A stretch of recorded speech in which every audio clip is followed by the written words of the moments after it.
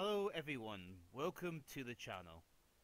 Now, as you may know, Brexit is not going to be happening October the 31st.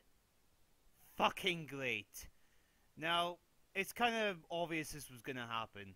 Now, so as obvious, so the European leaders have agreed for an extension to January 21st. No, sorry, 31st. Wish it was 21st, that'd be quicker. So, yeah, it's kind of fuck you to Brexit on that one.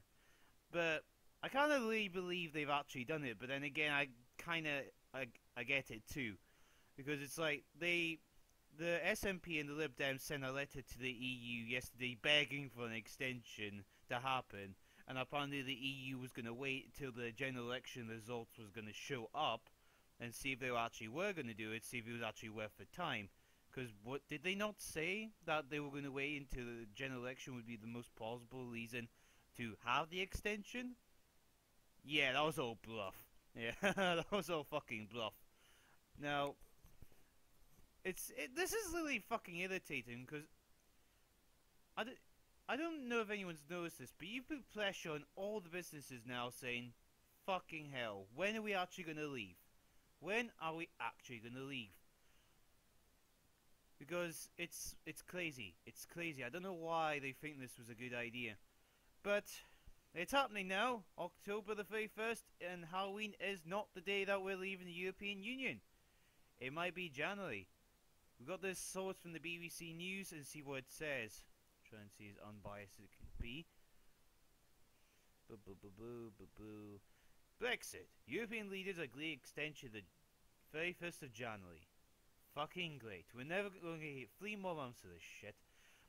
EU leaders have agreed in the principle to extend Brexit until the 31st of January 2020, meaning the UK will not leave as planned on Thursday, which is going to rustle a lot of feathers amongst the the Brexiteers. Now, I don't know why Boris put the finger for this general election, which we'll get to eventually, but they've all all the Lamonas in Parliament have finally got their way. So we're never going to bloody leave now. Let's see what else it's going to say. The EU Council President Donald Tusk said it was a flex flexation, sorry, meaning the UK could leave before the deadline if the deal was approved by Parliament.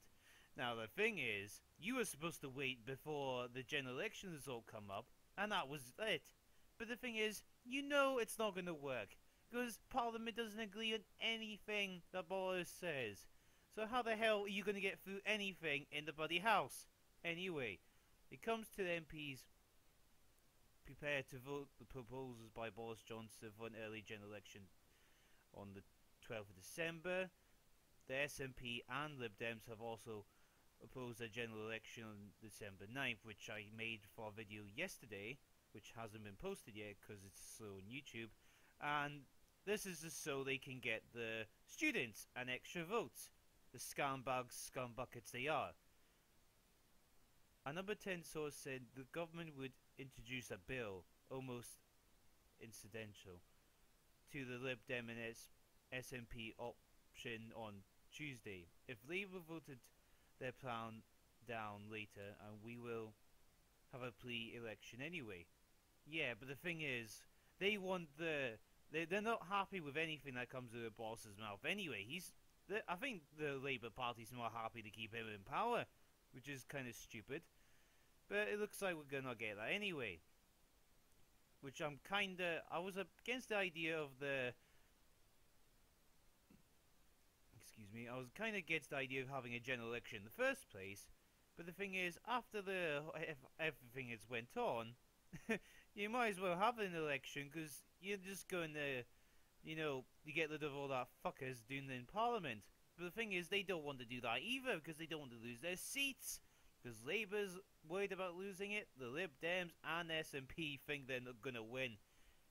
They haven't won any elections yet, so don't go back to that. Um, the Prime Minister is trying to pressure MPs to agree to a new timetable for his Brexit deal registration an election December 12th, which will be happening today. So that'll be interesting to see uh, during my tea break. The Lib Dems SNP plan, plan does not include a new timetable for Brexit registration. Well, that's fucking obvious because they don't want it. The BBC's political editor, oh Jesus Christ, can't speak. Political editor Laura Kuenssberg said it was not clear whether government would stick to a December 9th election date, which Piles ministers would give up attempt to get the bill through. Now they want that to happen, but are they ever going to let that happen? Probably not. This is also not clear whether the government's most identical, yay, bill would be, and sorry,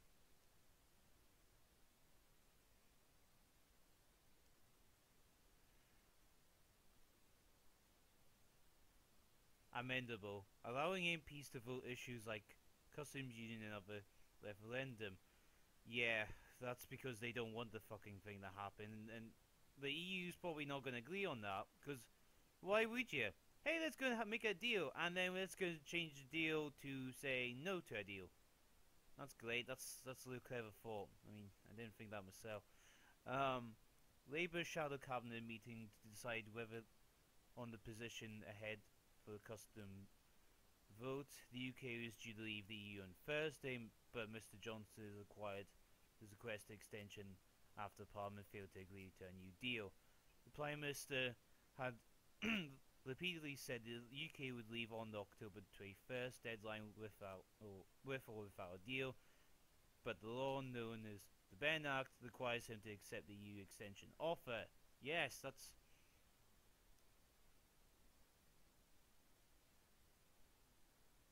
that's correct. That is very correct itself. But there's a big issue with that. Well, the fact is, Boz did exactly say what he said. He was going to get a deal. He got a deal. But the, the UK Parliament said no. It was very similar to Theresa May's deal, which I really don't like his deal because it's similar to Theresa May's one, and you know, we all know why that deal didn't go through three times. So, even to get Boris's one to get not even get through, you know, they even asked the question yet. It's it's pathetic. And then they built the Parliament built the Benn Act, which was stupid, but that's why Boris wasn't allowed just to leave without a deal, which he already has, and they didn't even want to vote on the deal. so thanks, John, for that. And then he just uh, he has to accept accept the EU extension offer, despite the letter he didn't sign saying it was the UK Parliament that wanted the extension, but not him which makes sense. So it's weird. It's it's, it's fucking weird. I, I hate this sometimes.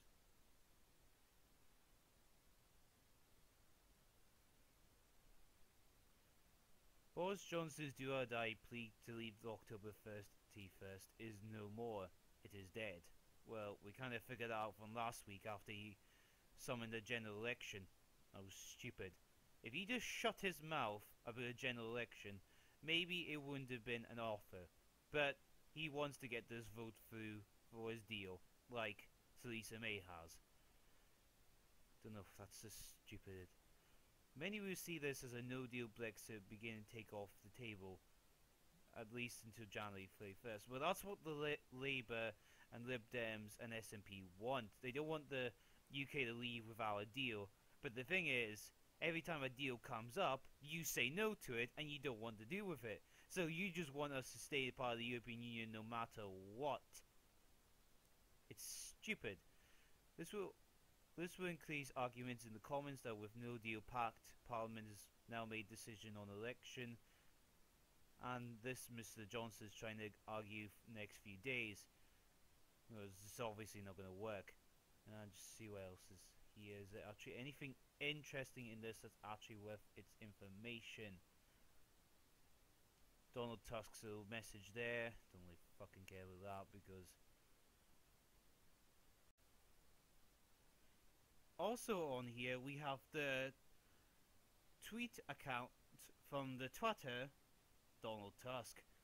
The EU27 has agreed that it will accept the UK's request for an Brexit extension until January 31st, 2020. The decision is expected to be formalized through unwritten procedure. procedure sorry. Yes, it's so that's pretty much confirmed, even if he's going to say that himself. Now there is another thing that could be coming up as well, which isn't on the BBC site here, which I'll hopefully change that soon. Um, it's actually on another page, but I can't remember what it's called, so you've got the picture of it here.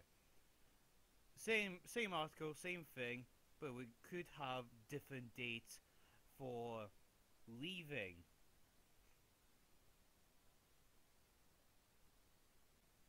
As it goes.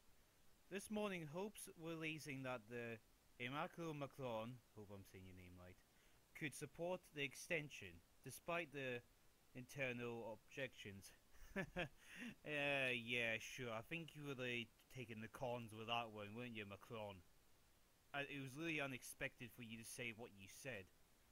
Anyway, following the call over the weekend between the Prime Minister and the French President, if France backs the, the extension for a three-month delay to January 31st, 2020 could be agreed. That's if it happens. it's not going to happen.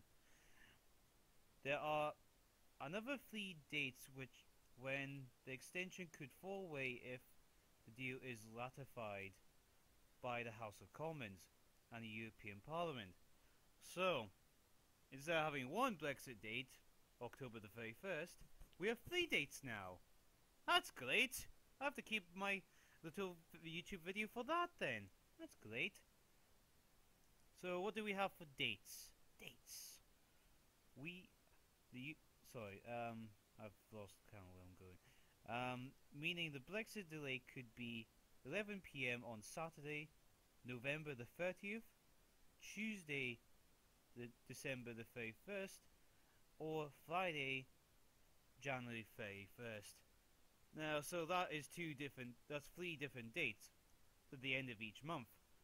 So, even if um, Boss somehow gets to get through his deal, gets it through, we could be leaving within the potential of three months. But, knowing how everything's going to go in the future, it's probably not going to go that way. Because the way everything usually goes in Parliament is always against the will of Brexit because everyone has the majority of Remain. So it's probably not going to happen. But at least we have three possible dates to go. yeah, that's probably not going to happen. But at least we know the actual dates. Um, so, after this, there be Prime Minister will be talking today about the uh, um, sorry, the general election possibly he could be win the general election with the support of the SNP, the Lib Dems, and Labour. But you know, those people do not want a general election because they'll be running away like the chickens when you show up for the supper. It will not happen. But there's that thing which I made the video yesterday, which should be up. It's not, well, find it. Um, there's not a lot of videos um, about the SNP and Lib Dems new bill, which could actually force a 9th of um, December election, you know, general election. But we'll have to see about that later. And I'll be making a video later on about the general election when it comes. You know, the actual results, see how bad it's going to be. Because I know they're not going to win. Everyone knows that's not going to win. It's already sad enough today that we haven't even got Brexit going to happen on Thursday as it is. So, I guess the, that Brexit video of mine will have to wait another few months. So, if you guys enjoyed the content, please be sure to subscribe to the channel. I am trying to do my best as I can to make more content as possible, more freely, and more possible for you guys to watch. Now, please subscribe even if you don't really want to watch my videos. It's a, it's a good idea. If you want Brexit, I'll talk about Brexit. If you want politics, I'll talk about politics. Because YouTube is taking down subscribers, taking down accounts and channels, so the people cannot get through to people like me, the ones who talk the truth and a bit of common sense. So if you want to see any more little common sense from my point of view, please subscribe to the channel and link the notification bell when you can. So, hope you have a good day and see you later. Hail to the Empire.